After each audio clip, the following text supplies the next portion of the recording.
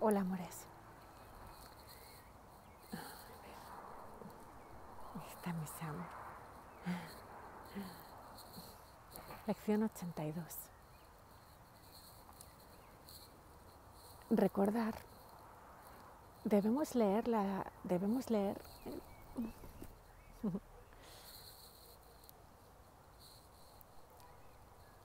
Se ha puesto aquí, a ver.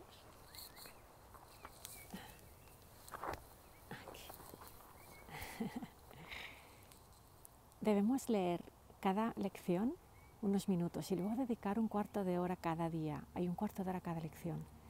Hay un mensaje para nosotros.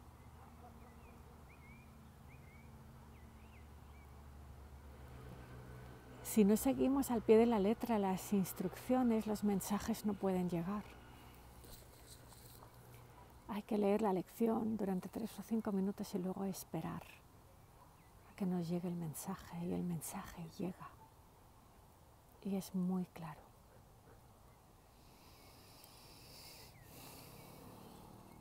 Dice, miremos estas prácticas como un periodo de, dedicación al camino, a la verdad y a la vida como un periodo de dedicación al camino, a la verdad y a la vida. Al camino, a la verdad y a la, y a la vida. Vamos a dedicar a la verdad y a la vida unos minutos cada día. Recordar que se nos pide un compromiso.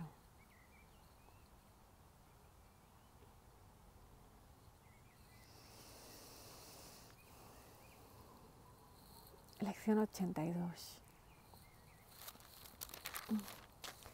La luz del mundo es nos trae la luz del mundo trae paz a todas las mentes a través de nuestro perdón.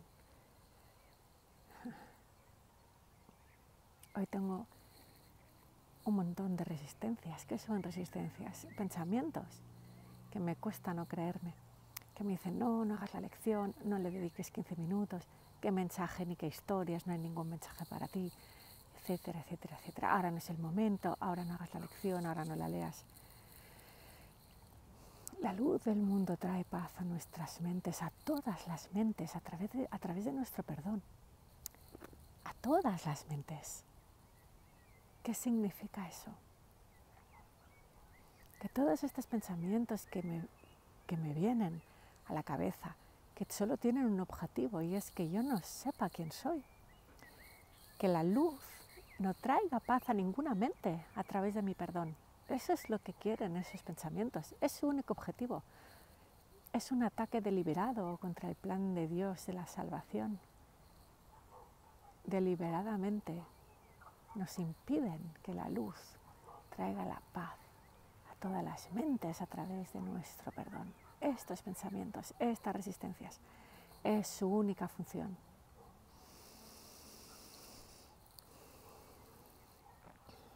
¿Y qué hace Dios en la conciencia, en la luz? Nada. Dice la lección que nuestro perdón es el medio a través del cual la luz encuentra su expresión a través de, a través de nosotros.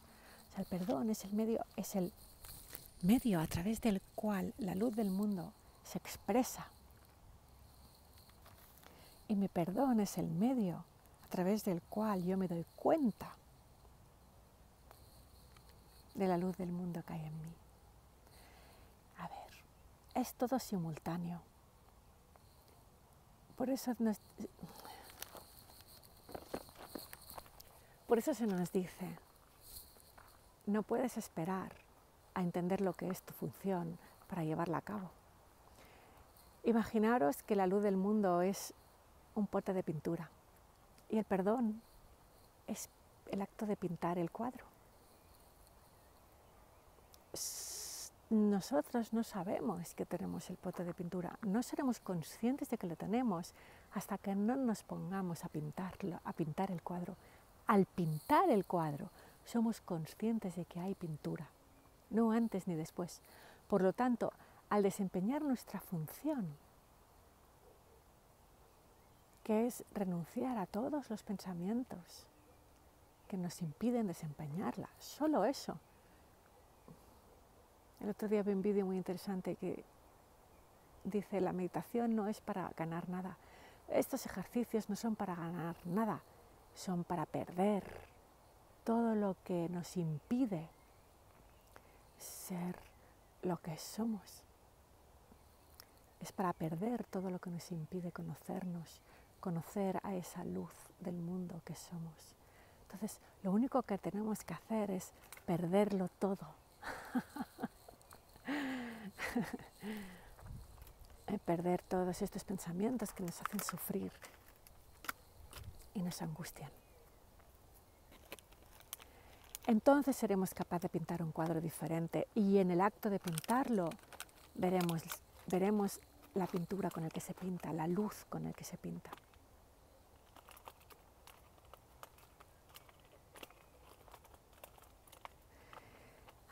Y nos olvidamos de una cosa muy importante. El cuerpo es el medio a través del cual el perdón se expresa, expresa a la luz del mundo. El cuerpo es un medio, es un medio. Y el medio está embozado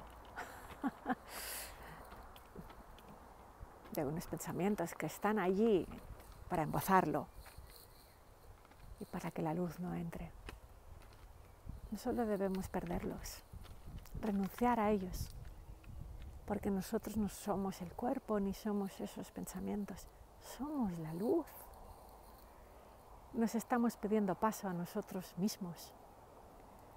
Por eso, cuando tú pintas el cuadro, ves que hay pintura para pintarlo, no antes ni después. No puedes ver, ah, mira, aquí hay un pote de pintura, voy a esperar a usarla, no no, no serás consciente de que, de que tienes la pintura hasta que no la uses para pintar.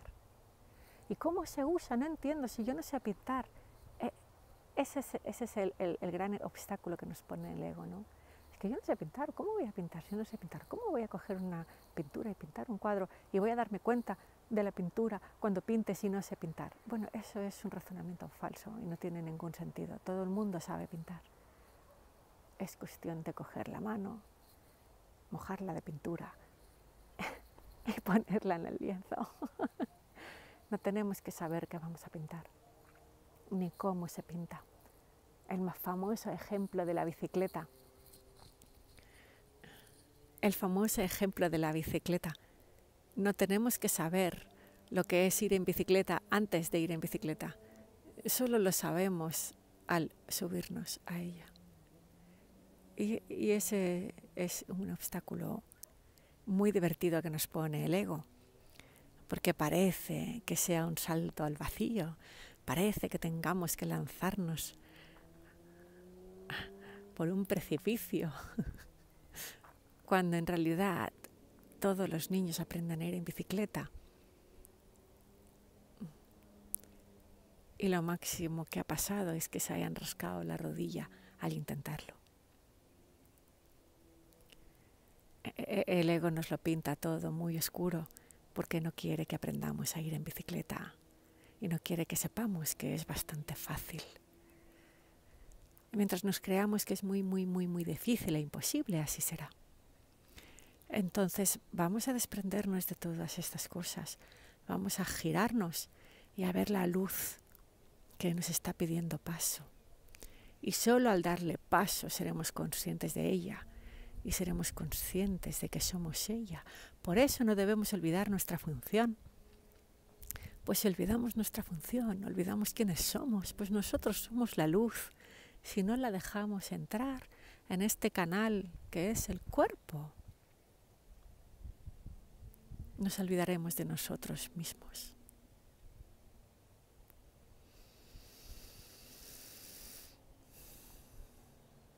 El ego usa lo que más amamos para distraernos de que todo lo que deseamos está en este momento. nos proyecta imágenes maravillosas de lo felices que seríamos con nuestro amado o con nuestra amada, o en un yate de 50 metros, o en las Bahamas, o volando por el aire con alas de ángeles. Porque el ego nos conoce muy bien y sabe cuáles son nuestros puntos débiles. Y nosotros compramos, compramos y compramos todo lo que nos cuenta en esa imagen de ti con unas alas blancas volando por el cielo está tu felicidad. En esa imagen de, ti con tu amor platónico eh, viendo el amanecer está tu felicidad. En esa imagen de ti con un montón de dinero en la está tu felicidad. Los pensamientos, recordar, son imágenes. Compramos todo, todo, todo. Lo compramos todo y regalamos nuestra atención a todas las imágenes que nos prometen la felicidad y que luego sabemos que lo único que nos aportan es frustración y angustia. Pues cuando la imagen se materializa, resulta que no es como lo habíamos pensado. Aparte que se termina El dinero se termina si no lo administras bien. tu amado te deja por otra. o tu amada te deja por otra, etcétera, etcétera. Es todo un engaño. Porque quieren nuestra atención, esos pensamientos quieren nuestra atención.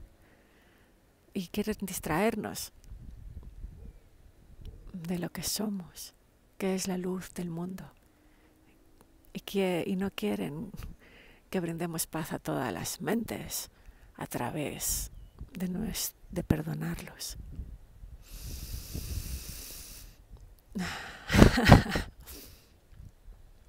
Parece, parece un poco paranoico, pero es que somos paranoicos. Al menos lo parece, parece. Lo que luego nos damos cuenta que en realidad esos pensamientos egoicos no tienen ningún, ningún poder si nosotros no se lo damos antes.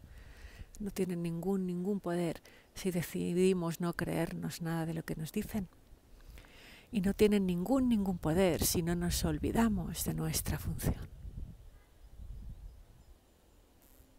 Y si no nos olvidamos de que todo lo que deseamos está aquí, en este momento y no tiene nada que ver con tus pensamientos, ni con las imágenes ni que vemos, con nada. Solo tiene que ver con nuestro corazón. Y con darle espacio para que esa luz del mundo que somos entre en nuestro cuerpo y vuelva a casa. Y nos sintamos en casa, por fin.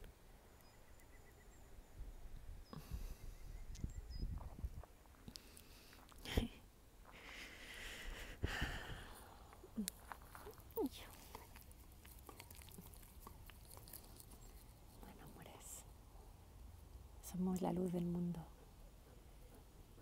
Y traemos paz a todas las mentes a través de nuestro perdón. Y por eso no podemos olvidar nuestra función.